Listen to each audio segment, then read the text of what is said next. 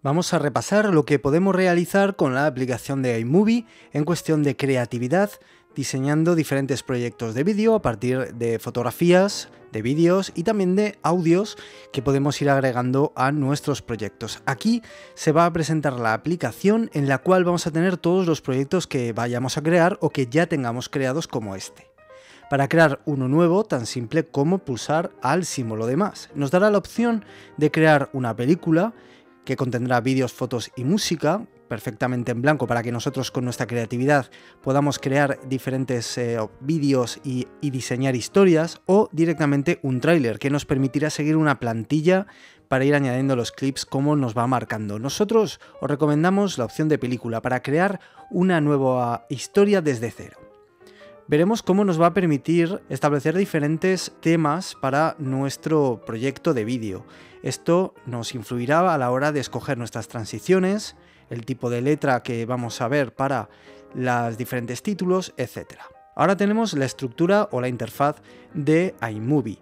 Primero de todo, aquí en la parte de abajo vamos a tener la línea temporal en donde podremos ir editando todos los clips de vídeo y fotografías que vayamos a utilizar en nuestro proyecto. En esta parte tendremos el vídeo tal cual lo vayamos a ir viendo, cómo va a quedar nuestra película. Y en la parte superior derecha tendremos los diferentes vídeos, nuestras diferentes fotografías, todas las canciones o la música del tema que vayamos a establecer y en la parte de abajo los botones para no utilizar las eh, películas, fotos, etcétera que tengamos en nuestro carrete, sino tomarlas directamente. Podemos tomar una fotografía, tomar un vídeo directamente con nuestro iPad y agregarlo a nuestro proyecto de iMovie. Como veis, simplemente al pulsar y tocar se nos va a ir directamente a nuestra línea temporal y como veis vamos a poder ir editando mientras vemos cómo va quedando nuestro vídeo.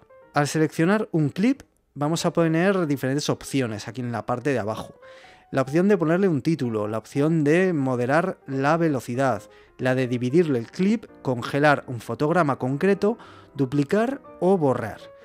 ¿Cuál es la opción que más vamos a utilizar a la hora de editar un vídeo? La de dividir, porque nos va a permitir separar la película en partes.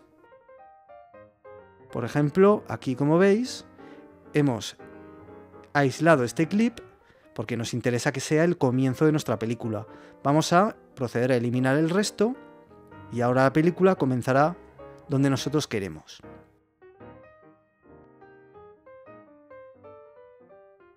Como hemos dicho antes, podemos congelar un fotograma.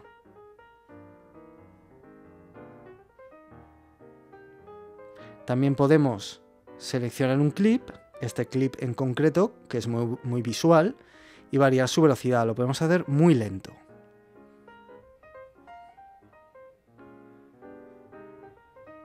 Así podemos conseguir efectos muy interesantes en nuestros vídeos. Podemos hacer más pequeño o más grande el proyecto para verlo con mayor claridad si tenemos un proyecto muy largo. Vamos a ver cómo ahora, una vez que ya tenemos los clips, podemos añadir, como hemos dicho, fotografías. Fotografías de nuestra fototeca, etc.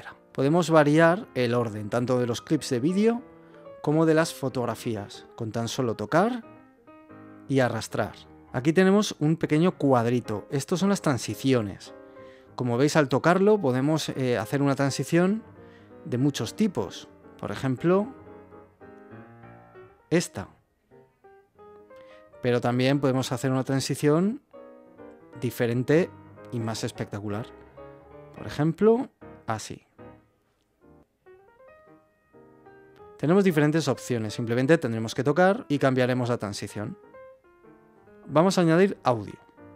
Pulsamos la pestaña de audio y tenemos diferentes opciones. Podemos agregar música que tenemos en la aplicación música de nuestro iPad o también podemos agregar efectos de sonido. Si tocamos de nuevo la pista de audio tendremos la opción de subir o bajar el volumen, añadir una velocidad diferente o un fundido. Esto es muy interesante porque el fundido lo que va a hacer es hacer como una pequeña caída al terminar el clip y también al comenzar para que sea mucho más suave la transición.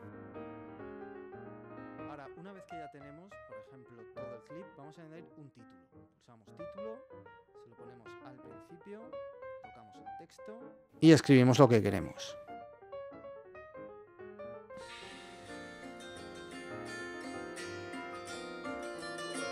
Ya tenemos la película hecha.